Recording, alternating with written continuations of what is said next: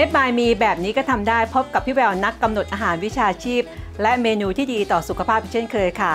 วันนี้พี่แววทำเมนูฟาสต์ฟู้ดค่ะ แต่เป็นเมนูที่ดีต่อสุขภาพของเรานะคะ ชื่อเมนูคือพิซซ่าต้นหอมญี่ปุ่นสูตรไร้แป้งค่ะ ส่วนผสมอย่างแรกที่จะทำฐานพิซซ่านะคะ นั่นก็คือไข่ไก่ค่ะ เราจะใช้ไข่ไก่นะคะจะเป็นเบอร์ไหนก็ได้ค่ะ ประมาณ 3 ฟอง นอกจากนั้นนะคะก็จะมีสิ่งที่ทำให้ตัวของไข่ ไม่กลายเป็นไข่เจียวมากเกินไป ที่จะทำเป็นแผ่นแป้งพิซซ่า พี่บจะใช้ตัวนี้เลยค่ะ เรียกว่าอัลมอนด์มิลหรือภาษาไทยเรียกว่าแป้งอัลมอนด์จริง ๆ แล้วเรียกว่าแป้งแต่ไม่ได้เป็นแป้งนะคะ ส่วนผสมก็คือเอาอัลมอนด์ทั้งเมล็ดมาบดให้ละเอียดแบบนี้เลยค่ะ ตัวนี้ก็จะเป็นส่วนของไขมันและให้ไขมันที่ดีต่อร่างกายของเรา โดยเฉพาะอย่างยิ่งไขมันไม่อิ่มตัว ซึ่งร่างกายของเราสร้างเองไม่ได้ ตัวนี้ดีต่อหัวใจนะคะ สามารถเพิ่ม HDL ได้ค่ะเราจะปรุงรสเล็กน้อยนะคะ ด้วยเกลือแล้วก็พริกไทยค่ะ แล้วก็จะใส่ส่วนนี้ค่ะ ต้นหอมญี่ปุ่น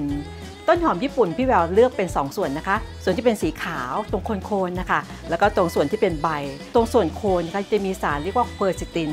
สารตัวนี้สามารถต้านการอักเสบเหมาะสำหรับเด็กและทุกวัยนะคะ เป็นส่วนผสมหลักนะคะ ที่มาพร้อมไข่แล้วก็แป้งอัลมอนด์ทั้ง 3 ตัวนะคะเมื่อผสมรวมกันแล้ว จะกลายเป็นแผ่นแป้งพิซซ่าค่ะ ส่วนผสมที่2นะคะก็จะเป็น เครื่องหน้าค่ะ วันนี้พี่แววเลือกใช้กุ้งค่ะ เป็นกุ้งต้มตัวเล็กๆนะคะ แล้วก็จะมีพริกหวาน สีแดงมะเขือเทศหลากหลายสี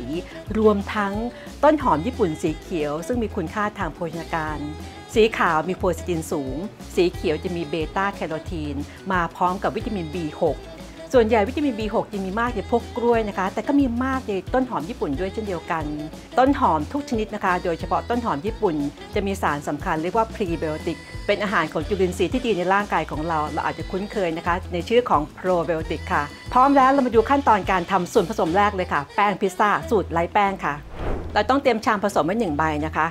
แล้วก็ตอกไข่ใส่ลงไปค่ะ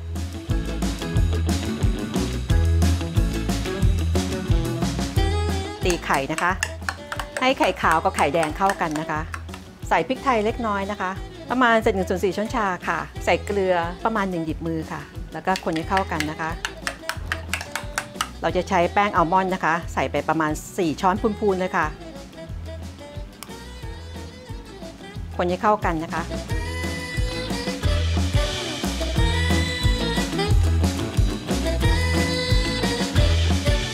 ส่วนผสมของต้นหอมญี่ปุ่นนะคะ ก็จะทำให้ไข่ซึ่งเป็นโปรตีนและอัลมอนด์มิลหรือแป้งอัลมอนด์นะคะซึ่งเป็นไขมันนะคะ มีคุณค่าทางโภชนาการอย่างสมดุลค่ะ เพราะต้นหอมญี่ปุ่นนะคะเขาจะทำให้แบคทีเรียที่ดีต่อร่างกายของเราหรือโปรไบโอติกนี่เจริญเติบโตในลำไส้ของเรา ยิ่งมีโปรไบโอติกมากๆนะคะ ก็ภูมิต้านทานในร่างกายของเราก็จะแข็งแรงมากยิ่งขึ้นค่ะ พอส่วนผสมได้ลักษณะแบบนี้นะคะหนืดๆข้นๆแบบนี้ค่ะ เราก็จะนำส่วนผสมนี้ไปทำส่วนผสมแรกนั่นก็คือ แป้งพิซซ่าสูตรไร้แป้งค่ะ วิธีทำนะคะก็คือเปิดไฟอ่อนๆ จริงๆ แล้วกระทะของพี่แววไม่จำเป็นต้องใส่น้ำมันก็ได้ค่ะ แต่เราใส่เคลือบไปทำให้เวลาพลิกหรือกลับหน้าพิซซ่าง่ายขึ้นค่ะทาบางๆแบบนี้นะคะ ไม่ต้องรอให้กระทะร้อนนะคะ เราจะใส่ส่วนผสม ซึ่งมีไข่ไก่มีแป้งอัลมอนด์แล้วก็มีต้นหอมญี่ปุ่น ซึ่งเป็นส่วนผสมสำคัญลงไปเลยค่ะ สูตรนี้เราจะได้แผ่นแป้งพิซซ่าแบบกึ่งกลางนะคะ ไม่บางเกินไปแล้วก็ไม่หนาเกินไปค่ะพอเราสังเกตดูนะคะว่าขอบขอบของไข่ค่ะ หรือตัวของแผ่นแป้งพิซซ่าเขาเริ่มเซตตัวแบบนี้นะคะ เราจะใช้ฝาปิดเข้าไว้ค่ะ ยังเป็นไฟอ่อนอยู่นะคะ ครอบไว้อย่างนี้ค่ะ ประมาณ 2 นาทีค่ะ ระหว่างนี้นะคะเราจะพลิกดูขอบขอบแอบดูเขาค่ะ ว่าเขาเริ่มเซตตัวหรือยังถ้าเขาเคลื่อนตัวได้แบบนี้นะคะ เราจะเตรียมพลิกหน้าเขาเลยค่ะ เมื่อสักครู่พี่แบบจะปิดไฟนะคะ ตอนนี้ก็จะเปิดไฟค่ะ แต่น้ำมันเล็กน้อยนะคะ และหลังจากนั้นนะคะ เราก็จะกลับหน้าของพิซซ่าลงไปค่ะ ปิดฝาไว้ค่ะ เรากะดูนะคะ ถ้าหากว่าเขาเคลื่อนตัวได้แบบนี้ค่ะ แสดงว่าด้านล่างพร้อมที่จะกลับแล้วค่ะ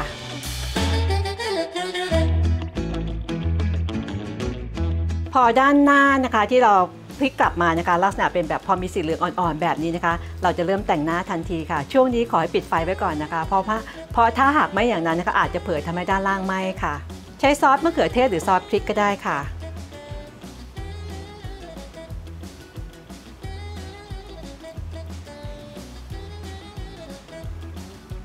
โรยด้วยผงออริกาโน่ค่ะ ไปโรยชีสค่ะ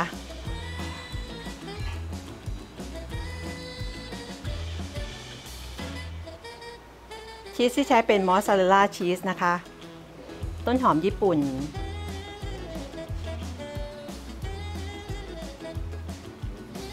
พี่แววก็จะใส่กุ้งลงไปด้วยค่ะ เป็นกุ้งตัวเล็กตัดหัวออกแล้วนะคะ เป็นกุ้งต้มค่ะ เพิ่มสีสันค่ะด้วยมะเขือเทศสีแดงนะคะ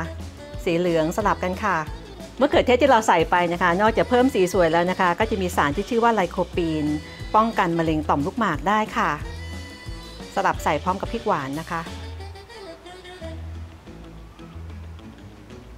ถึงตอนนี้นะคะให้เราจุดเตาได้เลยค่ะ ใช้ไฟอ่อนๆค่ะ โรยชีสที่เหลือด้านหน้านะคะ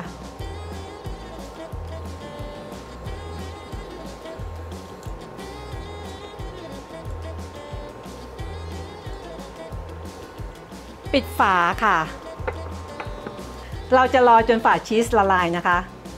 เสร็จแล้วค่ะสำหรับเมนูพิซซ่าต้นหอมญี่ปุ่นสูตรไร้แป้งนะคะ หน้าตาก็จะออกมาประมาณนี้นะคะ เมนูนี้นะคะเหมาะสำหรับทุกวัยในครอบครัวเลยค่ะ เพราะว่าอุดมไปด้วยโปรตีน โปรตีนจากไหนบ้าง โปรตีนมาจากแหล่งคือแผ่นแป้ง พิซซ่า สูตรไร้แป้งนะคะ ก็จะมีไข่และมีแป้งอัลมอนด์นะคะแล้วก็ยังมีโปรตีนจากกุ้งและชีสด้านบนด้วยค่ะ ก็สามารถรับประทานได้นะคะ สำหรับผู้ที่รับประทานอาหารคีโตนะคะ สูตรนี้เหมาะอย่างยิ่งเลยนะคะ เพราะว่าเป็นสูตรที่มีคาร์โบไฮเดรตต่ำมากเลย และถ้าหากเลือกใช้เป็นซอสมะเขือเทศ สูตรที่มีน้ำตาลน้อย หรือไม่มีน้ำตาล อาหารจานนี้ก็จะเป็นอาหารคีโตอย่างร้อยเปอร์เซ็นต์เลยค่ะ ก็เหมาะสำหรับผู้ที่ต้องการเพิ่มกล้ามเนื้อเพิ่มโปรตีน ขณะเดียวกันก็ไม่ลืมที่มีสารพฤกษะดีๆ จากต้นหอมญี่ปุ่น และรวมทั้งมะเขือเทศพริกหวานอีกด้วยค่ะ